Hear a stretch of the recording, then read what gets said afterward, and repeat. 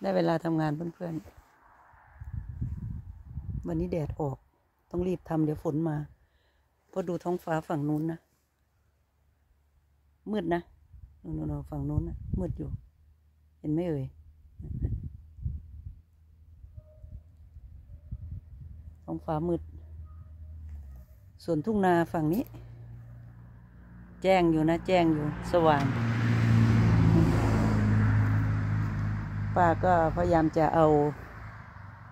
เอากอดอกไม้เก่าๆพวกนี้ออกให้หมด ออกจากข้างบ้าน ตอนแรกว่าปีนี้จะออกให้เสร็จแล้วจะทาสี ทาสีนอกบ้าน แต่ว่าลุงบอกว่า ปีนี้อาจจะทาไม่ทัน เพราะว่า ถ้าคนไทยเขาเนี่ยเนี่ยเนี่ยฝาเนี่ย มันจะมีบางชิ้นที่มันผุ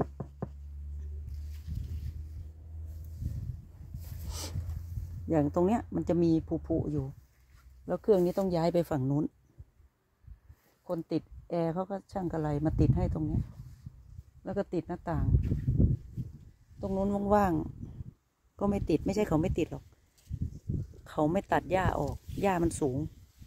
ป้ามาเอาหญ้าออกจนหมดแล้ว หมายถึงว่าเจ้าของบ้านเก่า ที่เขาติดไว้อะนะ